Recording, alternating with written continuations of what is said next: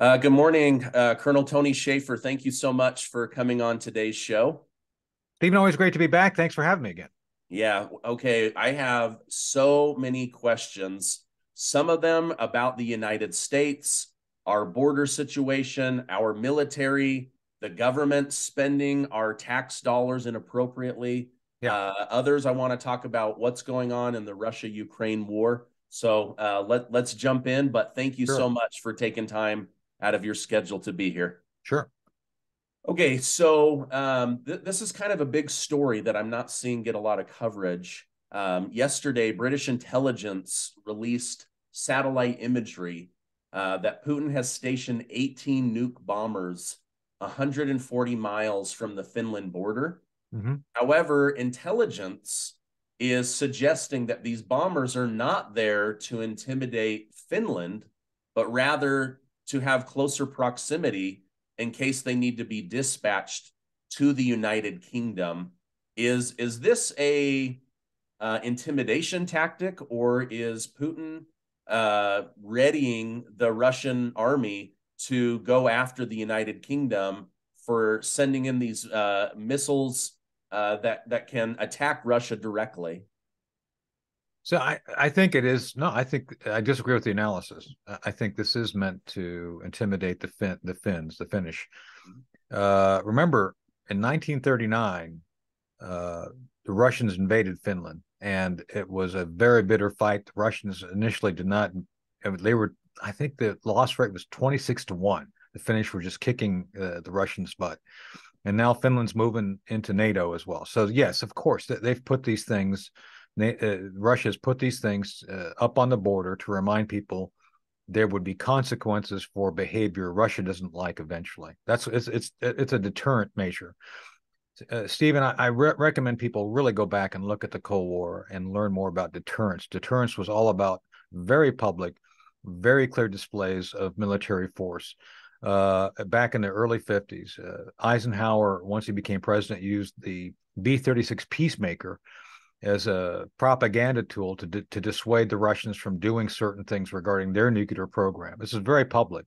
It was part of something called the New Look by the Eisenhower administration, where they believed, uh, wrongfully, I might add, but they believed at the time that they could use essentially the the the idea of nuclear force as a, as a factor to prevent any need to engage conventionally. It didn't work as well. Obviously, we didn't we know it didn't work, but it didn't stop them. But the idea of deterrence is what's behind Putin's thinking. It's behind the deployment of these nuclear capable bombers. And the Russians indeed are trying to remind people that they are still a nuclear power, that they would, uh, if push comes to shove, use nuclear weapons in response to th- some uh, threat threat and i'm using air quotes here because it's it's whatever they the russians perceive as that threat do they, the Russians, perceive the British support and the U.S. support for Ukraine as a quote unquote threat? Yes, they do. But that threat is not sufficiently uh, metastasized to the level of them, the Russians, feeling they have to respond directly uh, against NATO and the West. So that's where we're at. And I think, but I think the deployment of those nuclear capable bombers is a reminder that if you all continue to poke the bear, if I could coin a term, uh, you, you, something might, something bad may happen. And I again, I do not. Putin will not lose the Ukrainian war. He, he, will he will go to nukes before he will do that. And I'm just saying that that this is a reminder of that fact. Okay. Wow, that's scary. Okay. Um, you know, I wondered if it had more to do with Finland and you know just barely joining. It's all NATO. related. Because it's if they related. make a strike on the United Kingdom, all hell is going to break loose. Um, but if they can intimidate and remind uh, Finland, hey, we're right here on your border with some serious nuclear power. Uh, okay, thank you. I appreciate the the insight on that. Um, the United States is very excited about their Patriot missile system arriving in Ukraine. Yeah, uh, we're hearing stories of it. Uh, I, I, saw a video clip of it, you know, launching 30, 30 uh, counter strike missiles and and effectively defending Ukraine. However, they're saying it took down a hypersonic missile, which has gotten some scientists into trouble. We'll talk about that in a minute. But yeah. Um, is that system going to be helpful for them? And then, secondly, Uh, we're hearing that Russia has at least damaged one or maybe taken out one. Can you tell us what's going on with the Patriot missile system in Ukraine? Well, let's get some background on the hypersonics first, so people better understand. Uh, I, my source is Ambassador Hank Cooper. Uh, Hank Cooper ran SDI under President uh, Bush, 40, 41. And uh, he's one of our distinguished fellows uh, for both Project Sentinel and London Center and he was one of the scientists who worked on this issue. He actually run, run runs a company or a former company uh, that makes nuclear weapons and deployment systems. So he explained to me what goes on with hypersonics. Hypersonics are indeed a very effective weapon system, but there are certain points in the flight in the trajectory that are vulnerable. For example, when it's coming out of, cert, uh, when it's coming out of hypersonic status, it's basically got to slow down, Stephen, to the point where it's it's not hypersonic. It's fast, but not hypersonic. It's got to slow down because to be effective in targeting, it's got to kind of see where it's going. So it's kind of it's going fast and it slows down and gets ready to go down. And, and as it's coming out of, of it's, it's slowing down to go its final trajectory, it's vulnerable. So I think I think we figured that out. Just saying, I'm not I, am not giving away secrets here. I'm speaking based on my conversations with a science with, with someone who was des- worked in these designs back in the 70s. So, but my theory is the Patriot uh, algorithm figured out that vulnerability and was able to figure out that very small window of when it's coming in and you can see it and you can get it. That's what I think happened here. So, as much as they've said, and I've said publicly, oh, we can't shoot him down. I was corrected by Ambassador Cooper saying, well, there's a window of vulnerability, and that's what they were looking at. Again, just for the audience know, I'm not speaking based on any direct knowledge of what uh, the U.S. defense establishment's done. So just so we're clear on that, but I think that's what what happened here regarding the Patriots itself. It's good news, bad news thing, Stephen. I mean, yeah, they shot all those down. They they may have shot one of the two of these things down, but at what cost? Patriot missiles are hugely expensive, and they're burning through like thirty a a, a, a day. That that's not sustainable. Uh, these things are hugely expensive. We can only manufacture so many uh, so fast. So I think the public disclosures of the, the Teixeira documents uh, that were leaked, I think, are accurate. I think uh, by the end of this month, and we're talking uh, two weeks, the, the Ukrainians are going to be out of effective countermeasures to take out the Russian uh, missiles coming in, to include Patriot missiles, because you can only manufacture and use so many so so long. So uh, you know, it's it's um it's a game of attrition at this point, Stephen, of, of who who who who overwhelms who first at this point. So yeah, I, if you had to guess, are you talking these missiles are in the hundreds of thousands of dollars or in the millions of dollars? Oh, hundreds of thousands. Well, oh. I'd have to go back and look at the actual costs, okay. but the, each Patriot missile is high tech. It's super expensive, and we're talking probably uh, fifty thousand a pop. I mean, I'm sorry, five hundred thousand a pop per missile. So if you're if you're shooting off thirty of those darn things, that, that's uh, a lot of money very very yeah. fast. That is a lot. And, that is a and you can't and you can't sustain it. It's not sustainable. I mean, yeah. remember we've had to use these things to to protect the Israelis during uh, Gulf One, Gulf Two, and uh, we've deployed them in Korea to defend uh, South Korea and Japan against North Korean missiles uh, they're effective to a certain level, but again, uh, there are uh, certain um, certain theories of the adversaries, especially the Chinese, regarding uh, U.S. Navy ships and countermeasures. I was again watching this yesterday regarding. I was studying the Chinese problem.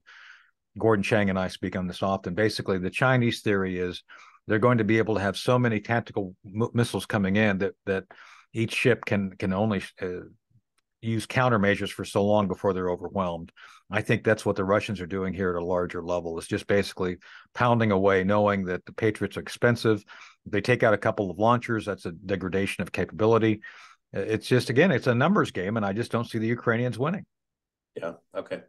No, that's uh, that's that's very interesting. Um, you know, part of the damage that came to the Patriot missile system, from what I mm-hmm. read, was and intelligence officers were watching for where those missiles were defending and yeah. then they they just dialed in where they wanted to hit and that's where they they attacked so they basically it's almost like they provoked them yes. fire, like like in World War II or World War One. The numbers game. See where the shot comes. Now you know where where to attack. So yeah.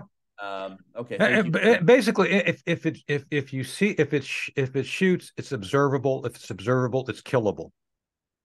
Okay. That's it. That, I mean, it's it's it's really that basic, Stephen. This is things have not changed since basic art, you know, tube artillery. Since we started using radar to trace back, uh, and, and, you know, we developed systems which basically are big old uh, trailers with radars on them. And the moment you see see, see something coming in, you can tr- trace back the trajectory where it came from. This is just a larger level of that, and this has been technology around since at least the '60s in some form. So Okay. Well, and I have to imagine uh, Putin or maybe his Russian generals.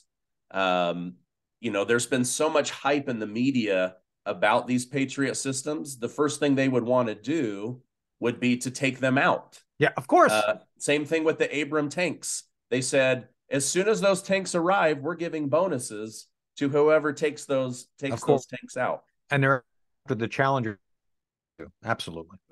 Again, Stephen, this is not to, to, to quote a phrase. This is not rocket science.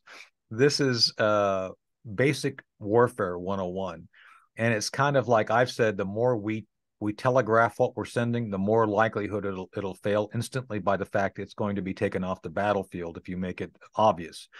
Uh, I've I've been around a day or two. I've done this a day or two, and during during the 80s, we were very careful about protecting information about what weapon system was going where and when.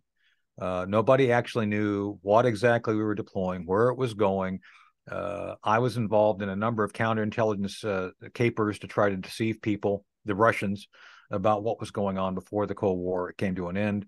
And then after the Cold War came to an end, we, we didn't want to actually acknowledge things we were doing. And so uh, we've seemed to lost the bubble on that and have no interest in actually protecting the security of our forces or those things we're giving to our allies. Yeah, it's like Russia can just like open up the Wall Street Journal or Pretty the much. New York Times. Oh, they're going to put it in this city, and we'll just watch for it. And, and well, the other thing we'll... too, remember there's there's there's choke points. One of the things that we've it's like I can't believe they're not talking about this, trying to fix it. If you send things into Ukraine via Poland, it's only going to have a handful of places that can go into Poland uh, from Poland into Ukraine.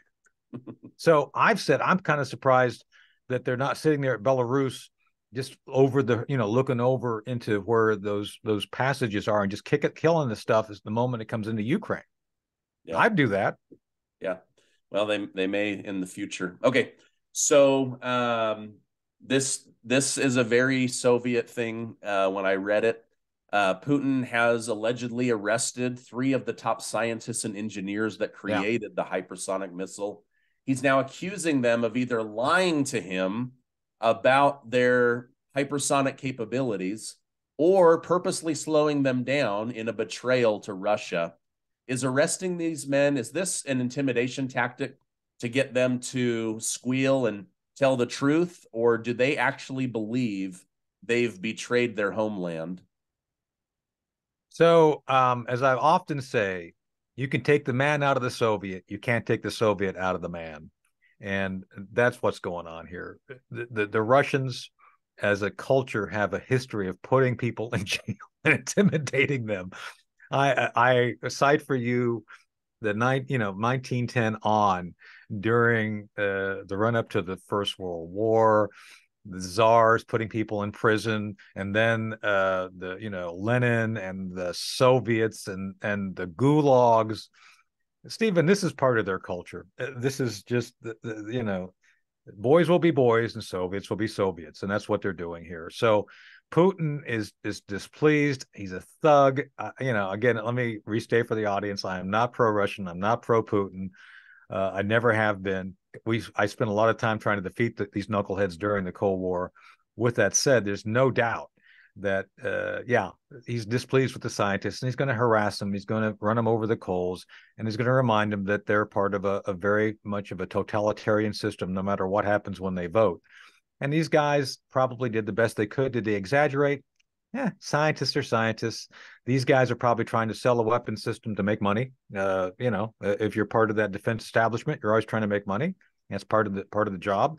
And did they oversell the weapon system? Probably. Uh, is that illegal? Eh, maybe in their system. I don't know. Uh, they do it here all the time. They oversell stuff, and people eventually go to jail if they oversell things. Uh, Elizabeth Holmes of uh, of um, of uh, Theranos fame is off to prison finally in the 30th of this month. So you know sometimes people are held accountable here as well. But uh, I think it's just a matter of Putin being sh- kind of showing his true Soviet colors at this point. Um, let, us let's, let's come back to the United States because uh, I've seen this in the comments section a lot. I've talked about this with other people.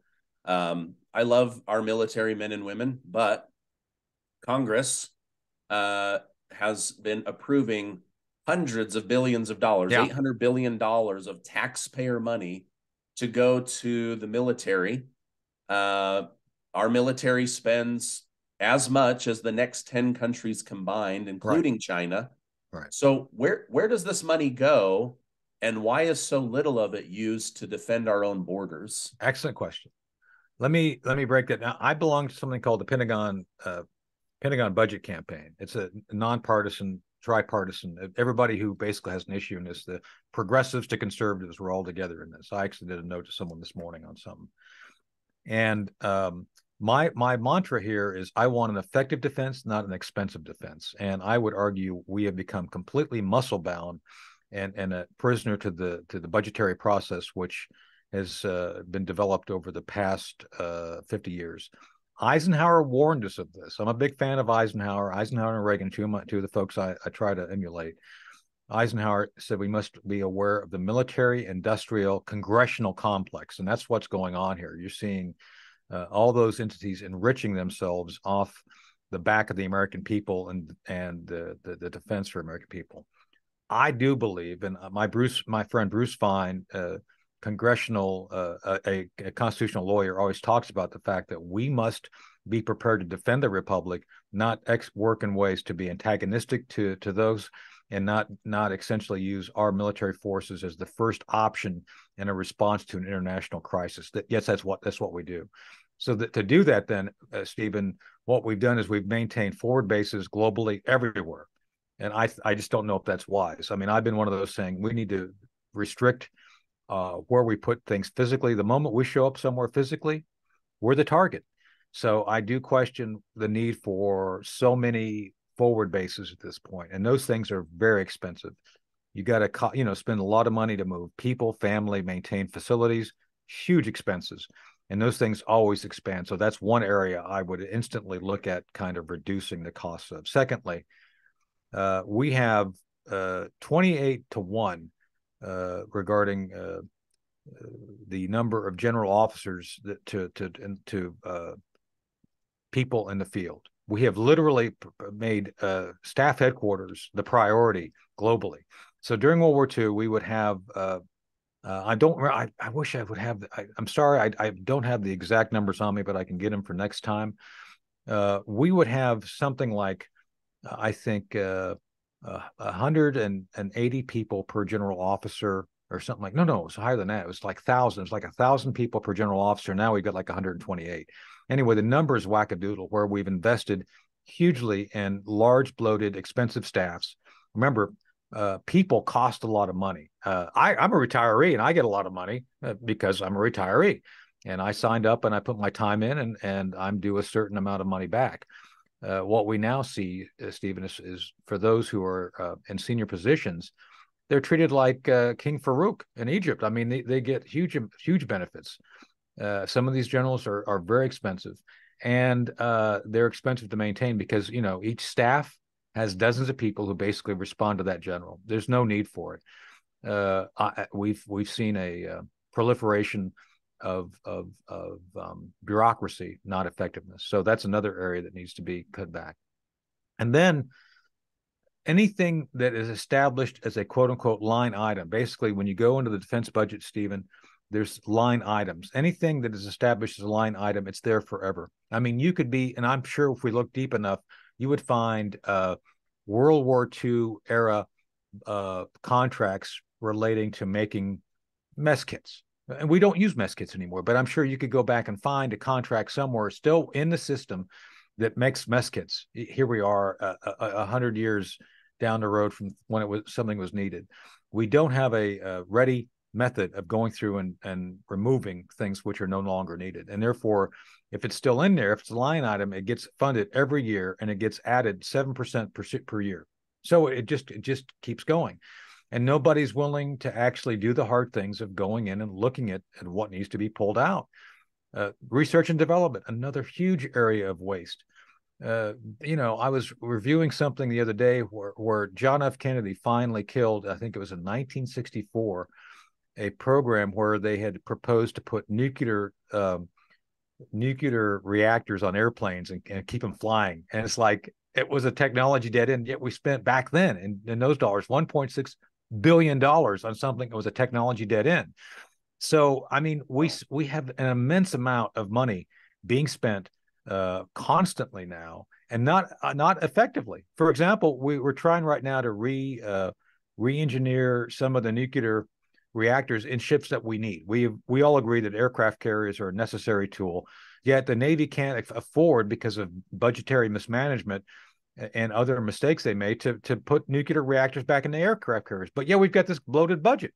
So the priorities are, are simply not adequate to the circumstance we find ourselves in. And again, nobody wants to have a realistic conversation about this because, you know, everything gets protected. Nobody, no, even two members of Congress too, they don't want anything in their district to be jeopardized by people coming and looking to, to, to do cuts. So it's it's the worst of all worlds, and that's why you see this eight hundred billion dollar monstrosity, which will do little, if anything, to actually facilitate keeping America safe based on our requirements. Okay, Colonel Macgregor has said to me that more and more the United States is avoiding diplomacy and more and more members of Congress are hiding behind our military men and women. What what do you think he means by that? Again, I think that often uh, the executive branch, uh, with the full concurrence, tacit concurrence of Congress, will will use military force as the first response to a diplomatic issue. Uh, fight, might might makes right, and I think uh, uh, we have uh, often turn to using military force over trying to be more persuasive using diplomacy. Mean, let me explain that a little bit more because I, I, think may have, I might have mentioned this, and I, I appreciate. I, I, apologize for being redundant. Tony Zinni, uh, a friend and mentor of mine, I worked with back uh, about uh, 12, 10 years ago on a number of issues, explained to me how during the time he was commander of Central Command, the CINC of Central Command, he would get called in by President Clinton uh, regarding a challenge.